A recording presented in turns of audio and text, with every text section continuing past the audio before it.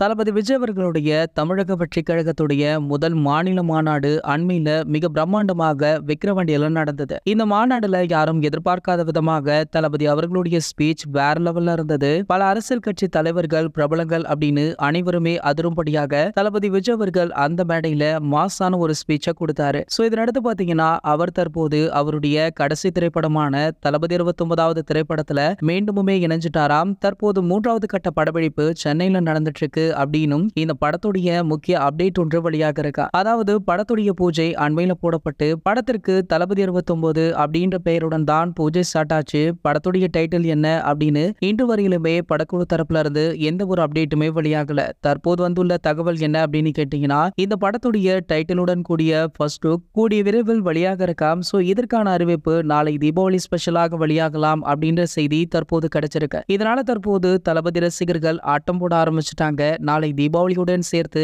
இந்த அப்டேட்டையுமே கொண்டாட வெயிட் பண்ணிட்டும் இருக்காங்க. இது போன்ற தளபதியை பற்றி வெளியாகிற அனைத்து செய்திகளுமே நீங்கள் உடனே தெரிஞ்சுக்க நம்மளுடைய தளபதி த்ரீ சிக்ஸ்டி அப்படின்ற நம்ம சேனலை சப்ஸ்கிரைப் பண்ணிக்கோங்க.